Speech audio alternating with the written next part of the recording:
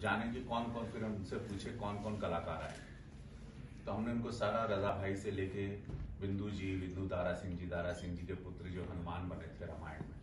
और ऐसे बहुत सारे, हमने कहा कि महाराज जी, सारे सीनियर और हमारे सारे दिग्गज कलाकार जो रामलीला से जुड़े हैं और जो शिद्दत से काम करते हैं, बड़े दिल से करते हैं, वो सारे कलाकार आ रहे हैं और एक भव्य ये समारोह हो रहा है जिसमें करोड़ों रुपए की लागत खर्च हो रही है। और हमारे दिल्ली के फिर सारे आयोजकों के नाम पूछे मैंने बताया कि कौन कौन है। क्या मुझे बोला आप कौन सी भूमिका में हैं?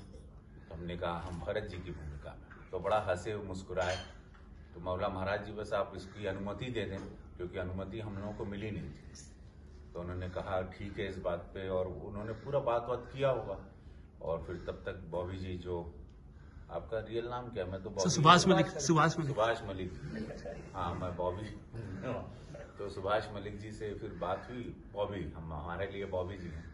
और इनके साथ जितने भी हमारे मंचासीन लोग हैं, सारे लोग मदद कर रहे हैं और सारे आयोजक हैं, जितने हैं, सारी एक बड़ी लिस्ट है क्योंकि एक बड़ा भव्य, एक ऐतिहासिक हो रहा है, क्योंकि राम लला का पुनर् मंदिर वहाँ स्थापित हो रहा है तो वो वहाँ पर कोई कमी बेसी ना हो, एक ऐतिहासिक हो हमारे छोटे भाई मनोज तिवारी जी।